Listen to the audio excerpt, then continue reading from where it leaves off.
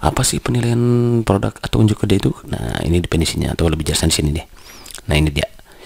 Jadi kan kawan untuk penilaian kompetisi keta, ke, keterampilan sebetulnya ya. Jadi unjuk kerja ataupun produk itu ada di penilaian kompetisi keterampilan. Dan materi ini lebih jelasnya silakan kawan-kawan searching di Permendikbud nomor 104 tahun 2014 kalau nggak salah ya atau 22 boleh tahun 2016 itu yang terbarunya bahwa untuk kompetisi keterampilan keterampilan itu terdiri di atas keterampilan abstrak sama konkret. Nah penilaian yang bisa dilakukan dengan unjuk kerja apa sih unjuk kerja itu? Bisa disebut kinerja atau praktik. Yaitu cara kita mengamati kegiatan peserta didik dalam melakukan suatu. Nah, jadi peserta didik mengamat, melakukan suatu kita mengamati. Nah, dinilai dengan proses pengamatan. Jadi penilaiannya dengan proses pengamatan kawan-kawan ya. Contohnya seperti praktikum di lab yaitu masuknya ke penilaian unjuk kerja. Kemudian praktik ibadah juga kawan-kawan ya. Praktik olahraga juga bisa presensi presentasi bermain peran memainkan alat musik bernyanyi dan membaca puisi juga sama. Hmm.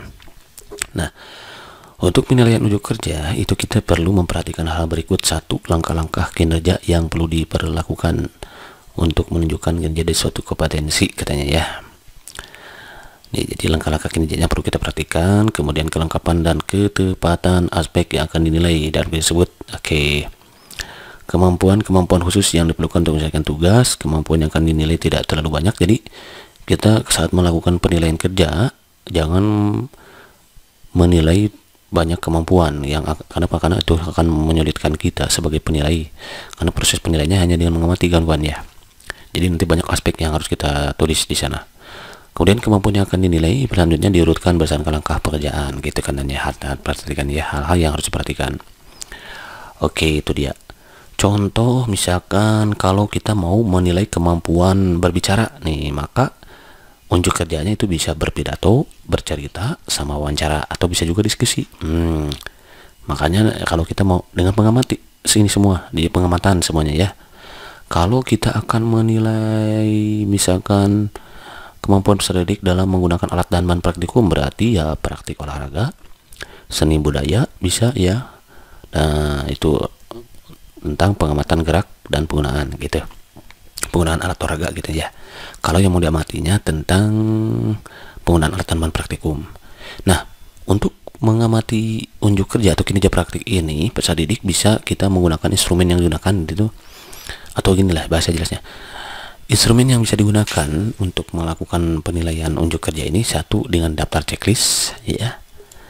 Contoh daftar checklist seperti ini formatnya ya. Ada nama peserta didik kemudian aspek yang dimatinya apa? Nah yang dimaksud tadi jangan banyak kemampuan yang diukur ini.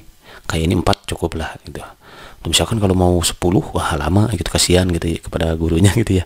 Karena akan menyulitkan kita dalam melakukan penilaian. Jadi jangan banyak-banyak cukup empat aja misalkan apa yang dinilai ini penggunakan jas lab ini berarti praktikum ya praktik di lab tuh makanya benar kan Pak untuk praktik di lab di lab, di lab gitu ya Apakah dia menggunakan plastikum si Andi ini? Ya, kalau ya pakai tulis berarti ya. Membaca prosedur? Boleh. Ternyata dia membaca prosedur kerja terus membersihkan alat? Iya. Menyimpan alat pada tempatnya? Juga iya. Gitu. Nah, kalau si Bobby ternyata ini tidak menggunakan jas lab berarti tidak gitu ya. Tidak membaca ini juga sama membersihkan alat karena dia malas? Enggak gitu. Menyimpan alat apalagi ini itu tidak. Nah, ini berarti jawabannya hanya ya dan tidak benar atau salah gitu. Atau kalau mau pakai checklist gitu ya. Atau bisa pakai skala penilaian. Misalkan mau nilai rentang yang kita pakai 4 sampai 1 1 sampai 4 gitu. Nilai 4 untuk ya yang sangat baik 3 itu kalau baik kemudian 2 cukup satu kurang. Nah ini contoh formatnya format instrumen penilaian praktik olahraga bola voli ini contoh cara servis misalkan si Anton. Cara servisnya bagus berarti 4 boleh itu pakai rentang. Cara passing grade eh cara passing atasnya 3 misalkan. Passing bawahnya 2 nah, semesnya gak bisa satu cara blok apalagi ini satu gitu. Boleh. Nanti eh, ditulis pakai cek di sini pakai checklist gitu ya kemudian 4 sangat baik apa biasa sangat baik tiga itu baik cukup dan kurang gitu kan nanti dirata-ratakan baru dihitung gitu ya kalau mau dikali 100 tinggal dikali 100 saja gitu ya oke okay, dia Nah, Selanjutnya, penilaian proyek. Apa sih penilaian proyek itu? Penilaian proyek itu adalah penilaian yang digunakan untuk mengetahui pemahaman atau kemampuan mengaplikasi atau kemampuan menyelidiki dan kemampuan menginformasikan sesuatu hal secara jelas. Itu proyek. Ya. Penilaian ini mulai dilakukan mulai dari perencanaan, kawan-kawan harus ada perencanaan dulu, kemudian pelaksanaan sampai ada pelaporan. Makanya guru perlu menetapkan hal atau tahapan yang perlu dinilai. Seperti apa? Penyusunan desain, kemudian pengumpulan data, analisis data, penyiapan laporan tertulis baik secara lisan boleh, itu mau tertulis boleh. Nah, dalam melakukan penilaiannya kita bisa menggunakan rubrik nih kalau untuk proyek ya rubriknya. Contoh nih rubriknya. Contoh format rubrik untuk melakukan penilaian proyek nih. Sekian diamati apa? Dimulai dari persiapan kan, kemudian pelaksanaan sama pelaporan saya tulis. Jadi dia nilainya kriteria dan skor. Bisa kita bisa kasih rentang nilainya 1 sampai 4 nilai 1 jika memuat tujuan topik dan alasan. Nilai 2 berarti lebih bagus dari 1 jika memuat tujuan topik alasan dan tempat penelitian. Oke. Okay. 3 jika memuat tujuan topik alasan tempat penelitian dan responden. Keempat nilai 4 kalau jika memuat tujuan topik alasan tempat responden oke okay. sampai daftar pertanyaan gitu. Ini contoh rubrik ya kawan-kawan. Pelaksanaannya gimana? Nih nilai 4 itu jika data diperoleh lengkap nah, terstruktur dan setujuan kalau pelaporannya gimana? Jika pembahasan data sesuai tujuan penelitian dan membuat simpulan dan saran yang relevan. Ini nilai 4 gitu. Jadi ada rubriknya kawan-kawan. Kalau untuk melakukan penilaian proyek gitu. Pelaksanaannya nih, jika diperoleh data lengkap nilai 3 nih. Oke, lanjut next. Eh, kalau produk, nih tadi bahasan apa nih? Bahasan proyek ya, jadi ada kinerja, unjuk kerja atau kinerja atau praktek kemudian ada proyek sama berikutnya adalah produk. Penilaian produk itu adalah penilaian yang meliputi kemampuan peserta didik membuat produk-produk nih atau teknologi seni seperti makanan misalkan ya contohnya. Biasanya nih kaitannya dengan guru biologi nih ya. Guru IPA membuat tempe kue kalau kue di prakarya bisa kalau di SMA itu ya. Asinan bakso nata de koko, pakaian sarana kebersihan, contoh sabun misalkan ya pasta gigi, cairan pembersih dan lain. Ah, teknologi contoh misalkan adaptor, biar listrik. Nah, kalau ada batik fisika ini kaitannya ya karya karya seni contoh patung, lukisan, gambar dan barang-barang terbuat dari kain, kayu, keramik, plastik atau logam itu produk nih. Ya, penilaian produk itu kaitannya dengan bagaimana dia menghasilkan suatu produk gitu ya. Produk tempe kue tahu misalkan ya oncom gitu ya.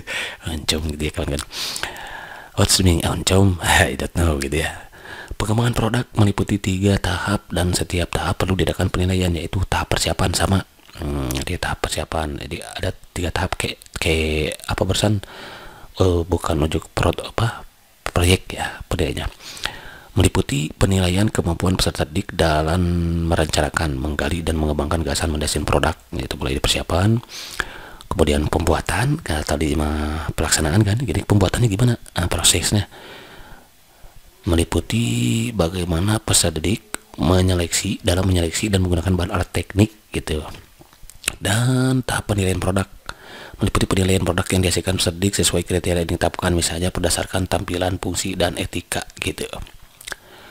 Berikutnya, penilaian produk biasanya menggunakan cara analitik atau holistik. Cara analitik ini apa? Yaitu berdasarkan aspek-aspek produk biasanya dilakukan terhadap semua kriteria yang terdapat pada semua tahap proses pengembangan. Tahap persiapan buatan produk, penilaian produk. Cara analitik itu ya. Jadi penilaian produk itu biasanya menggunakan cara analitik atau holistik. Kalau cara analitik itu mulai dari persiapan, kemudian pembuatan produk dan penilaian produk. Kalau cara holistik itu berdasarkan kesan keseluruhan dari produk, biasanya lakukan hanya pada tahap penilaian produk. Jadi kesannya gimana? Enak gak kalau makanan gitu ya? Nah, gitu, bagus gak hasilnya gitu ya? Contoh penilaian produk nih, formatnya nih kayak ini nih kawan-kawan. Misalkan mata pelajaran kimia membuat sabun. Nah, nama peserta didik siapa di sini, kelas berapa gitu. Misalkan Mang Akil di sini, Mang Akil. Eh, kelas berapa nih ya? Kelas 10 atau kelas ya 10 SMM misalkan ya? Perencanaan bahan ya ke satu. Ini skornya berapa? Ini kurang atas nih sebetulnya ya perencanaannya gimana gitu. Seto, skor maksimalnya 4 nih. Aspek yang dinilai sesuaikan dengan jenis produk yang dibuat. Jadi aspeknya disesuaikan dengan produk yang dibuat. Mulai dari perencanaan ya skor diberikan tergantung dari ketepatan dan kelengkapan jawaban yang diberikan. Semakin lengkap dan tepat jawaban semakin tinggi persen skor gitu persiap proses pembuatannya persiapan alat dan bahan gimana? Oh ternyata sempurna. Teknik pengolahannya bagus empat berarti ya. Keamanan keselamatan dan kebersihannya gimana? Eh, kalau nggak bersih berarti tiga kurang bersih gitu. Hasilnya gimana? Bentuk fisiknya. Oh bagus misalkan empat. Bahannya? Ternyata kurang bagus misalkan ya ada zat kimia yang berbahaya misalkan ya. Ini kita bagus ya bisa dua gitu. Warnanya ternyata me, bagus menarik misalkan. Pewanginya bagus juga misalkan kebaruan kekurang baru misalkan dari yang baru gitu. Misalkan dua gitu kan kan ya. Nanti di total baru di, dibagi skor maksimal. Kalau mau skala 100 kali 100 aja gitu kan kan. Itu contohnya. Dan berikutnya ada portofolio. Kalau portofolio itu gimana? Portfolio itu pada dasarnya menilai karya-karya peserta didik secara individu pada satu periode untuk suatu mata pelajaran. Akhir suatu periode hasil karya tersebut dikumpulkan dan dinilai oleh guru dan peserta didik sendiri. Oke, jadi bisa dinilai oleh guru dan juga peserta didik sendiri. Jadi portfolio itu pada dasarnya adalah menilai karya-karya peserta didik secara individu pada suatu periode. Nah, gitu kawan-kawan ya. Menilai karya-karya peserta didik secara individu pada suatu periode untuk suatu mata pelajaran. Oke. Informasi perkembangan tersebut, guru dan peserta didik sendiri dapat menilai perkembangan kemampuan peserta didik dan terus-menerus melakukan perbaikan. Jadi gini, dikumpulkan tuh hasil ulangan misalkan ya, dikumpulkan. Ulangan ke satu berapa misalkan 70, ulangan kedua ternyata naik tuh kan. Ulangan ketiga ternyata 90 naik, terus sampai 100. Atau bisa juga turun misalkan ya. Berarti ini naik terus, berarti perkembangannya bagus gitu ya. Jadi prosesnya untuk menilai perkembangan kemampuan peserta didik kalau bagaimana kalau misalkan dari 80 90 tapi turun. Oh 60 nah ini bisa dicek juga penggunaannya untuk bagaimana nih di mana dia mengalami berarti dia mengalami proses kesulitan belajar. Nah, hal apa yang menyebabkannya? Bisa digali gitu kan, kan untuk menera, mener, untuk terus menerus melakukan perbaikan katanya ya. Dengan demikian portofolio dapat memperlihatkan dinamika kemampuan belajar tuh ya. Melalui sekumpulan karyanya antara lain karangan puisi surat komposisi musik gambar foto lukisan resensi laporan penelitian, sinopsis dan karya nyata ini bisa di karya nyata yang diperoleh dari pengalaman. Nah, bisa juga dalam bentuk nilai boleh gitu ya, kumpulan nilai ulangan boleh gitu ya. Sederhananya sih gitu ya. Tapi bagusnya kayak gini gitu ya. Karangan, puisi, surat komisi gitu. Oke. Berikut hal yang perlu diperhatikan dalam melaksanakan penilaian portofolio. Satu, pada didik merasa memiliki portofolio sendiri. Tentukan bersama hasil kerja apa yang akan dikumpulkan. Apa? Tentukan secara bersama. Jadi harus ada kesepakatan nih bersama hasil kerja apa yang akan ini? Mau hasil ulangan kah? Dikumpulkan misalkan nilainya. Mau bikin apa? Misalkan setiap akhir KD misalkan bikin tugas satu nah, dikumpulkan. Atau karya terbaik dari tadi yang proyek produk ataupun unjuk kerja itu boleh itu juga ya. Kumpulkan dan simpan hasil kerja peserta dalam satu map nah, dimasukkan ke map nah, pakai map selector bisanya bagusnya ya pakai map selector ya.